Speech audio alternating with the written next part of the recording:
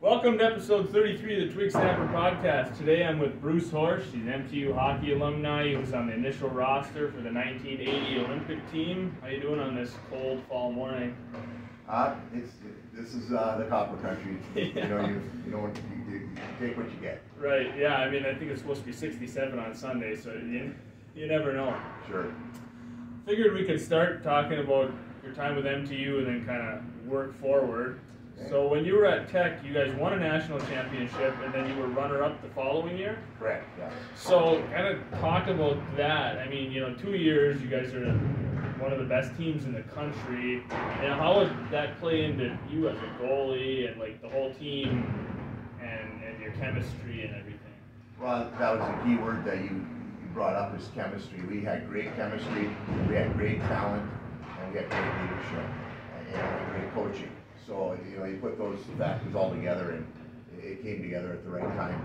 I was just fortunate to be a freshman walking in, uh, you know, playing uh, maybe I don't know six, seven, eight games that first year, and uh, but we had a goaltender ahead of me that was phenomenal, and Jimmy Warden, and uh, you know that first year, and then all of a sudden we lost some of those guys, three key players off that team that could have come back the next year to the '76 Olympic team, and uh, with uh, Stevie Jensen and uh, Jimmy Warden and uh, Paulie Jensen, and they all could have come back. They were still had eligibility to play for us, and, but we we had uh, quite a bit of our scoring back from the, the NCAA team too, so it was a uh, would have helped to have those other three players back, I'm sure, but you know we made it all the way to the end, and uh, unfortunately the last game didn't work out for us. Yeah. So, what was the NCAA championship back like in the 70s? I mean, I know now hockey's getting pushed to the forefront of NCAA sports. It's a huge deal. There's a lot of media around it.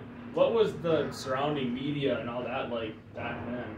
You know, probably not to the extent you have here. I mean, every kid has a phone now. You know everything instantly, and uh, back then at least I had to wait next morning to read in the read in the newspaper what happened or see it on the news or something. But um, no, it was a, it was a big deal in, in our, you know, I would say the WCHA and the ECAC were the two leagues basically uh, playing at that time, and uh, the CCHA was just a kind of a up and coming league, just getting started back in the 70s. So uh, the number of schools that were back there weren't that many, and only four teams made it to the NCAA's. You know, and uh, usually the first two teams out of the WCHA made it, and the first two teams out of the ECAC made it made it to the Final Four. So it was a lot more. It was a lot harder to get in if you were one of those teams that wasn't as well known. Exactly. I mean, there was probably teams on in the WCHA that depth-wise, maybe the third and fourth place team might have been as good as the second place team in the ECAC at the time, but you know, you didn't have that opportunity. Right. You had to come out of. We never played to a final championship either in the WCHA. You had your playoffs, and uh, eight eight teams made it to the playoffs, and you got it down to two teams, and that that was it. There was no champion. Oh, Th- Those two teams went to the NCAA. that's interesting. I don't know. Do you know when they changed that rule and they started reforming the playoffs to what it is now? Boy, um, it wasn't much longer after that because the CCHA started coming in and they wanted, you know, my senior year, the CCHA uh, ended up having a team in the NCAA and the WCHA only got one team in there. And we were a third place team at that time and thought we were going to get a, a bid to go there because Right. the number one team in uh, WCHA that at that time was Denver and they were on probation. They had used to be illegal junior players or something, so they were on probation. So we were technically the number two team in the WCHA that year. And Bowling Green all of a sudden came out of, uh, with Coach Ron Mason, who was well-known Michigan State coach, but he was at Bowling Green. And they, they came out and, uh, uh, had a one-game knockout with, well, we got beat out by Wisconsin in our playoff that year. And Wisconsin went to the NWC, or NCAA, and then, uh, I think it was Colorado College got beat out by maybe Bowling Green or something like that, but, yeah. Yeah, it definitely changed the, the whole makeup of college hockey. Well, and they had, you know, your, your, um, regionals were two out of three initially. You know, you'd play, you'd bring a school into Tech here in, in a regional, it could be somebody from the east or wherever. And, uh, when they made that change to twelve teams maybe, they had four regional sites and they had you know, you played a two out of three. Yeah. And, uh, now it's one, one, uh, one game knockout and that's it. Right, right. It makes it a lot more competitive. Makes the games mean Yeah. a little bit more too, because you've got to play to win. Well, and back when we played in the WCHA playoffs, your series wasn't uh, on your wins, it was on your total goals. So you could split the series, but if you got one more goal than the other team uh, over the weekend, you, you were the, you were the winner of that series. Wow. So, so if you had good firepower, you had a better chance. Good firepower or, or a stingy defense, one or Yeah, the other. right. Yeah, you needed one or the other, yeah, or a combination of both. And then you played when Coach John MacInnes was here. Obviously, he's one of the great coaches of college hockey and at Michigan Tech. What was he like as a coach? Well, he was a, a player's coach. You know, he he would talk to you every day. I mean, he was around the players, and uh, on the ice he would talk to you a lot. And, he- and he was very uh, like a father figure. You know, a lot of us came here, and he he very honest with you. He came out right away, and he'd go around the room after about the first week or so of practice and say, "Look, look to your right, look to your left." He says, "But." There's only going to be about two or three of you that might end up playing pro hockey out of this room. He says, but every one of you guys are going to get your degree, and you know, and he was very adamant about that. You know, I, I know I came through a time when you know I would say 98% of the guys that I came in with and that I played with from my freshman year on got their degree. If one guy maybe didn't get it, that would be about it. So he, he valued the school and the hockey kind of together. Exactly, but he valued actually the school.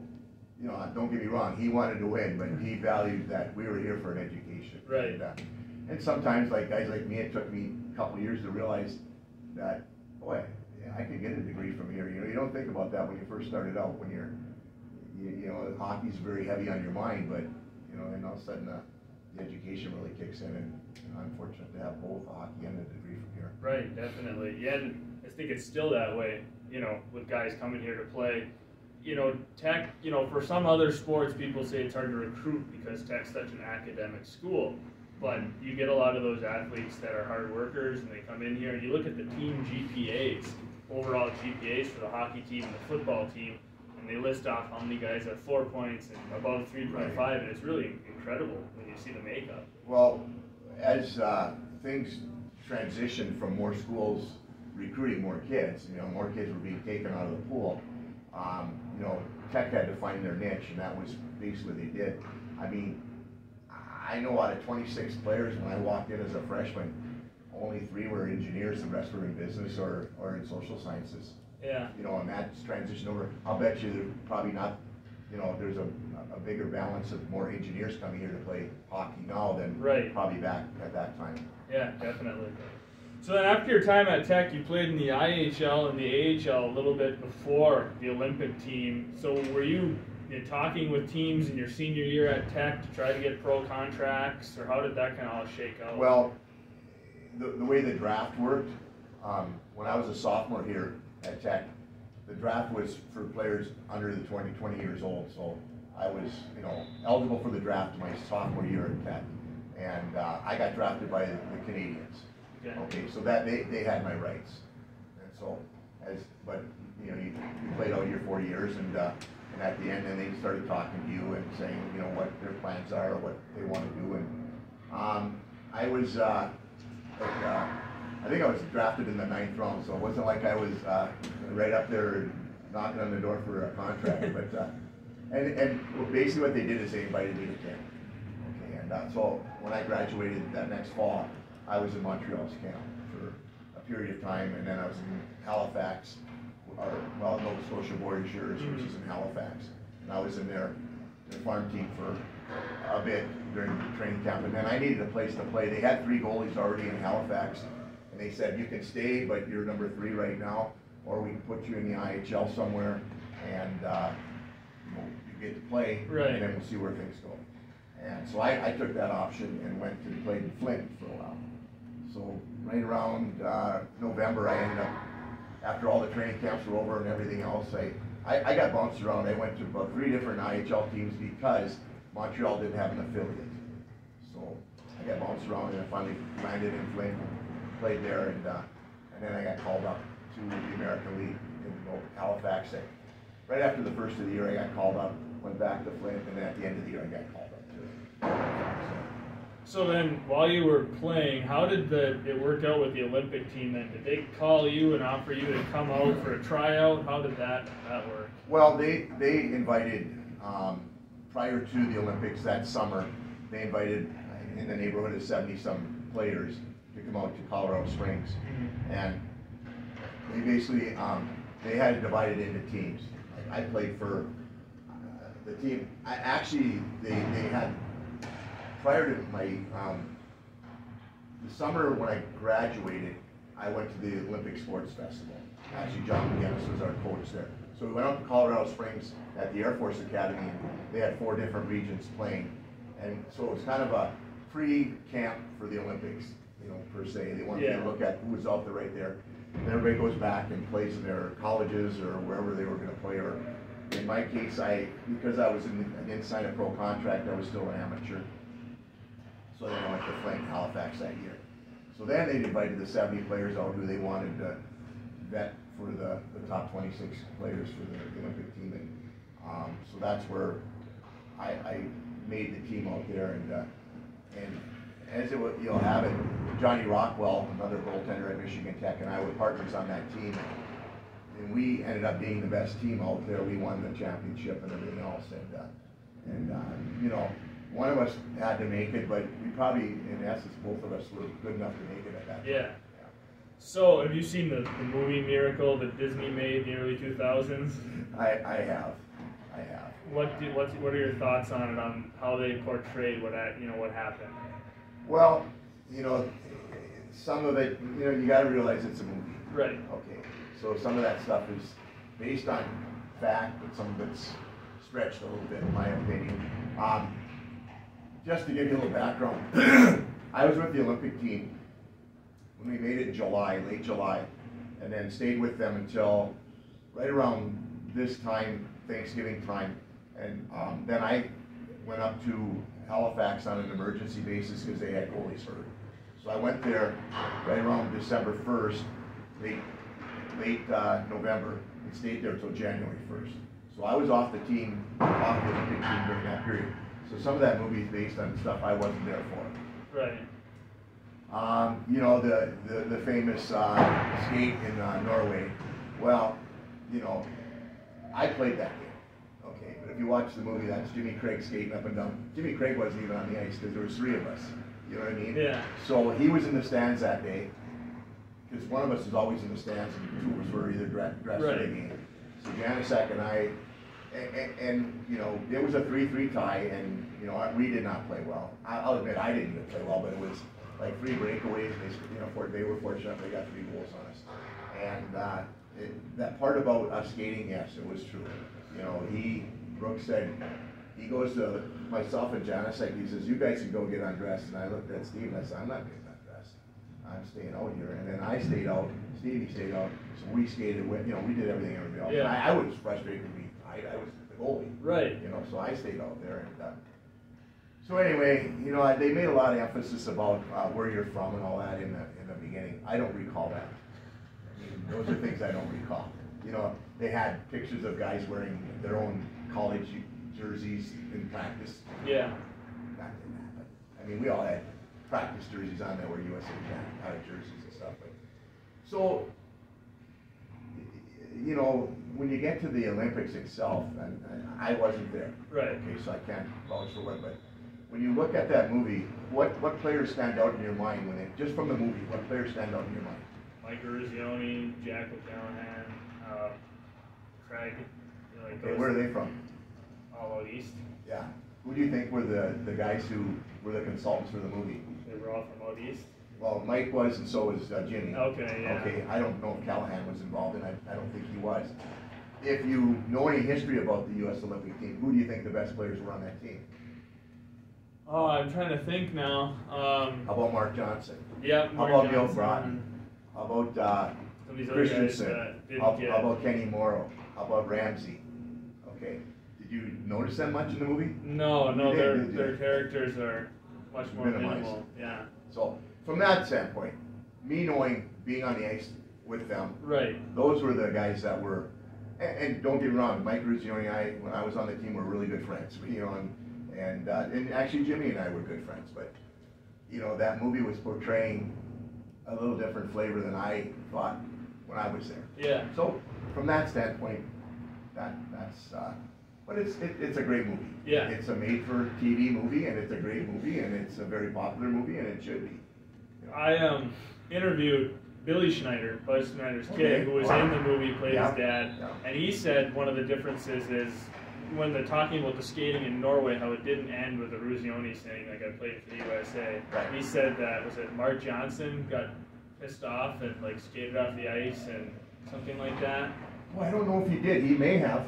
You know, Yeah. I don't know if he did. Um, it was true though. They we skated, and then when they turned the lights off, we thought, great, we can get off the ice. No, just we kept going. Kept going, kept going, and uh, um, I, I honestly, you know, when you're in a fatigue state like that, I don't even know how, how it stopped. Yeah. You know how it. Yeah, he said that Mark Johnson got pissed Yeah. off, like smashed a stick and said some things to Herb and skated off. But you know they changed it because the Disney movie. Oh, and, sure. You know they got to make it family friendly and Right. some of that stuff. That's what I'm saying. Yeah, I, I could say. I just remember it didn't end like like it would get. You know, I mean, I know it didn't end that way, but it's a movie. It's a good.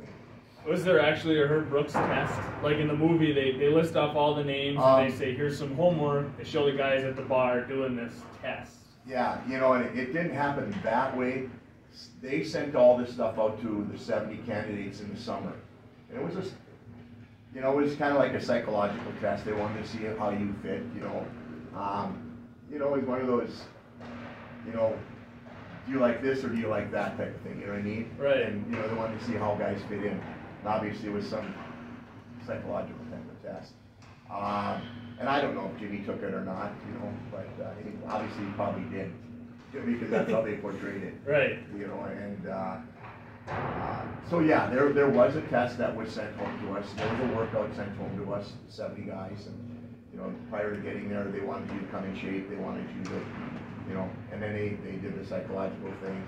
Uh, the movie portrayed that Herbie already had 26 guys before we even sat went on the ice. Yeah.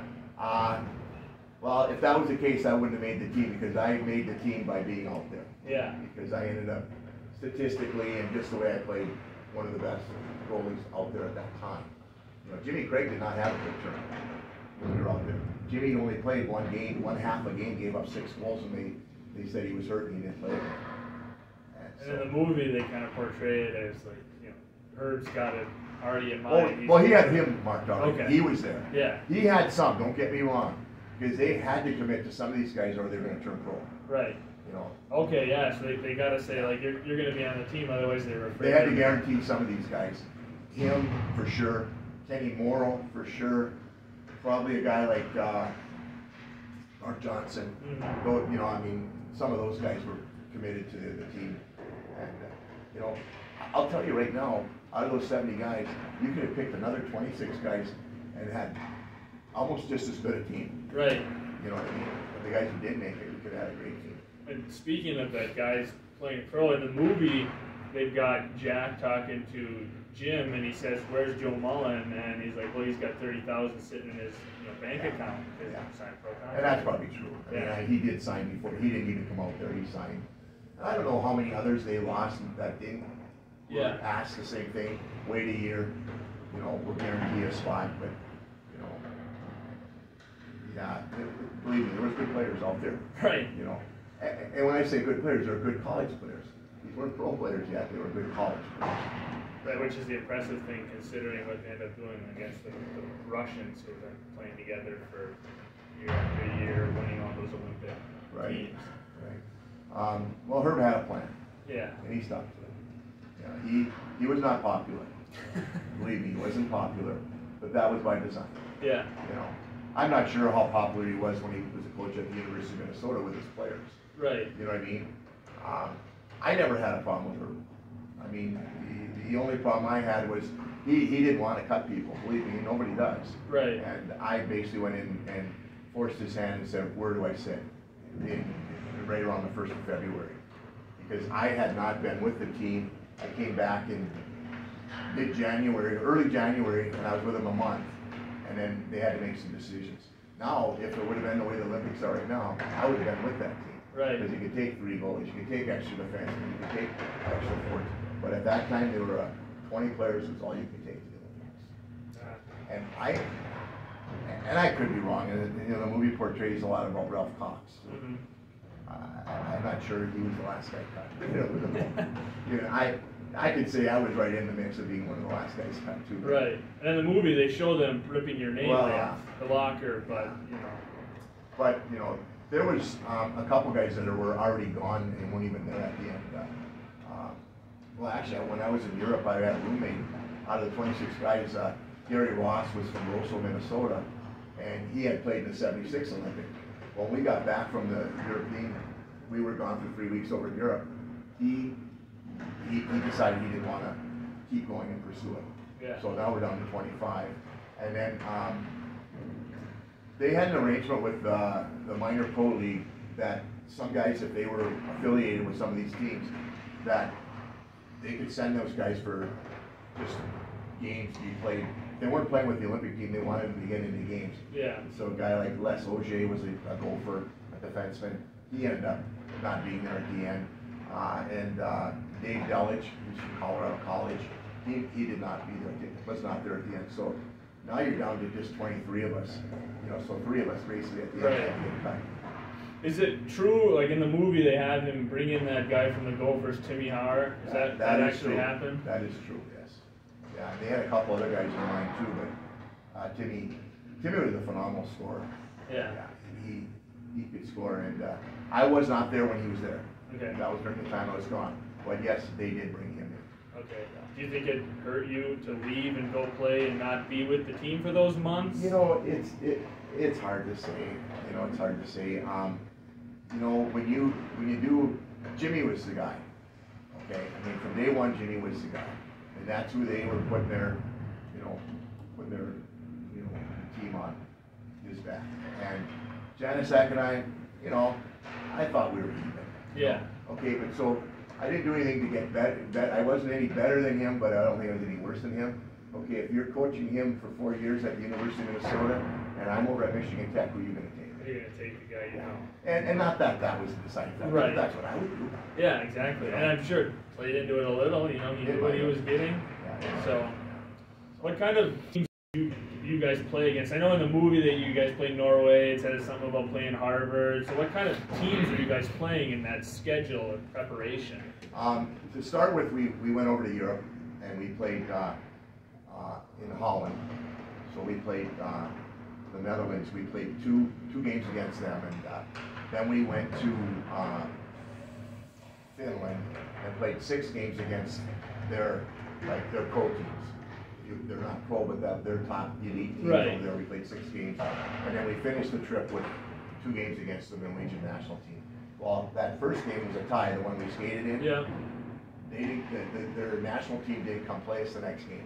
They sent their national junior team. And we beat them like twelve to nothing, to nothing, twelve to nothing. I mean, for one, we are gonna beat them anyway, because after what happened with the skating. Right. But, but they didn't, they didn't send their, they, they didn't send their, their national team there. They sent their junior team. Wow. So it was kind of a, kind of a, they, they had a moral victory just getting a tie from, from the US at that time. Right. And that, was- that was good enough for them. They didn't want to. apparently. Yeah, So, but it was, it was a real neat trip, so we were over there for about three weeks. Then we came back, we probably had a schedule of about maybe a dozen college teams. Uh, and then we had a schedule with, uh, was the Central League at the time, it would be like Omaha City, uh, Omaha and uh, Oklahoma City and Tulsa and Dallas and Fort Worth. Those teams that were out there in the Central League. Yeah. And we actually were on, on every one of those teams' schedule, and the games that we played against them counted in their standings. So they, they had to play us. Yeah. And it counted against their, their league. So they'd actually give you guys full effort because it wasn't just an Well, it was an important game. Right. It was an important for them. Yeah. Uh, we played a little bit in, uh, the, we played an IHL All-Star team, and then I wasn't there with them, but I, I think we probably played the Canadian Olympic or Canadian national team probably about five or six times during that, that run. Okay. Yeah. In different venues. Yeah. So you said that you know Herb wasn't liked with different you know the way he did things.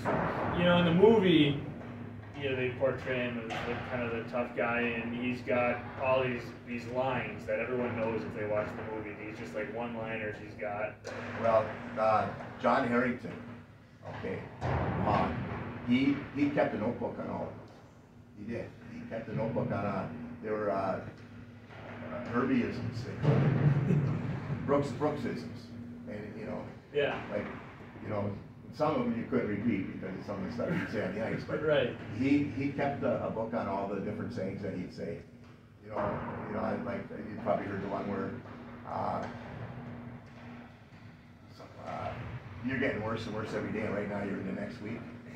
You know, stuff like that he'd say you. Right. You know, and so he didn't, he didn't bother the goaltenders.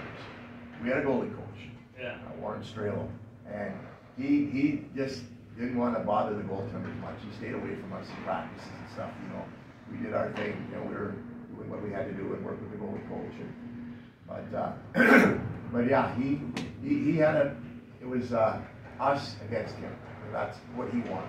Right. He wanted to join everybody from different places in the U.S., bring everybody together from different colleges, and you know unite that as one team. So his way of thinking was, let's have them focus on me, you know, and not on each other. Yeah. You know. Speaking of that, in the movie they show everyone's kind of at each other's throats in the beginning. The guys from Minnesota and Boston. Was there some tension in the beginning with guys from different schools? You know, I didn't feel it. Yeah. But you know, there was some truth to it. I mean, Minnesota. Um, when when we were when we don't know if that was happening, but when when we played in Denver for the national championship, uh, BU in Minnesota had a bench clearing brawl in the national Yeah. semifinals. So I don't know if that was part of it or not. You know, because Callahan might have been a freshman at that time. Right. Yeah. And Eruzione was probably either a junior at that time. So there might have been a little bit of a pullover, you know, carryover from that. Yeah, but- some bad blood, but Yeah, but, you know, I didn't feel it. I mean, and that, that might just be my attitude. I, when I'm on a team, I'm part of a team. I'm not an individual. Yeah. Team, so. So then, after your, your time with the Olympic team, you, you played in the IHL and the AHL a little bit more, and then you stopped playing. What was your decision on, on stopping? You know, to try to pursue playing pro or You know, um, well, for one, I, I, I left in February and I hooked on with Toledo in the IHL. And, uh, you know, when, when they were going through the whole Olympics, I was with Toledo, playing for Toledo. And uh, when they when they actually won the gold medal against Finland, I was on a bus going to Fort Wayne, Indiana. So I, I didn't actually get to see, although a lot of that, a lot of those things were taped delayed anyway that night for Yeah. TV coverage and everything else. So I saw it then. But and uh, I happened to be home. Uh, I was in Dearborn at the time, commuting to Toledo, and when they beat the Russians, we get the Canadian station in the Detroit area. So the Canadian station carried it live. The U.S. station did not. So I didn't get a chance to see it. I was coming back from practice. Yeah. So I, I didn't know what happened. Then I turned, you know, I wanted to watch the game that night, so I still didn't know what happened. But as you watched, uh, the, the people around the, the, the booth of the, the announcers and all that stuff, you could tell something really, really good happened. Yeah. So then I watched the game from that anyway, yeah, I, I ended up in the IHL and uh, stayed with Toledo right through till finished the year out there. But I had gotten hurt where I uh, I was out for about four weeks while I was down there, and uh, I just decided I wanted to move on and I wanted to get into coaching. So I uh, I just threw my name out there and that summer and uh, decided that I to try coaching. yeah. And you coached at Ferris, and then you coached at Tech for a little bit. Why did you decide to switch schools? Because you wanted to come back to where you played, or Well, as a coaching, you know, you're, you're beholding to your record, you're beholding to the kids that you recruit. And uh, when I was at Ferris, uh, I got hired by a head coach who was only there two years, and uh, Rick Duffett, and then uh, it got switched over to a guy by the name of Dick Bertrand. And Dick Bertrand and I had different philosophies, the way he recruited and whatnot. And, uh, we probably butted heads a little bit too much. So, in essence, I, I got let go. And uh, I left the sport for a year and went over to Minnesota and took a job in, a, in an industrial salesman. And uh, I wasn't there six months, and that's when John MacInnes was going to be retiring. And both Jimmy Nahrgang and uh, Herb, uh, I'm sorry, that when I went to Ferris, Mhm. the, the switchover happened. yeah, Okay, so when I was coaching against Tech at the time, Jim Nahrgang was the head coach. Well, after four years at Ferris, I was being, you know, let go. Um, that one year in Minneapolis, there was a change in coaching again at Tech. And Herb Boxer was one of my coaches for two years here at Tech as an assistant. And he called me up and said, "Do you want to get back into coaching? I said, yeah, I would too.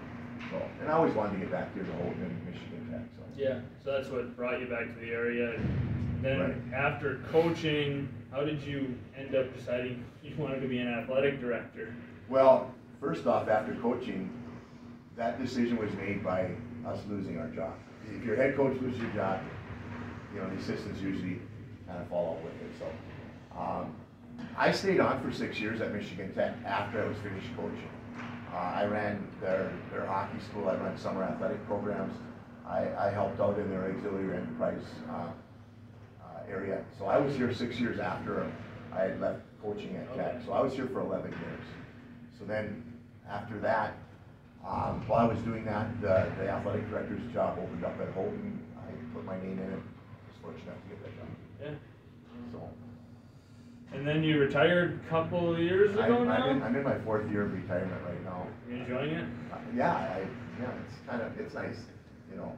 And I was fortunate, I got out of it three years ago when COVID hit. Right, so you got out of it just before the, the all the mess and Yeah, you know, and- of the I mean, it, yeah, it, it was just time for me. I, I, I, I loved the job I had as an athletic director. I liked the kids that I met. I mean, I liked the coaches I had and other coaches and referees that I came into Yeah. contact with.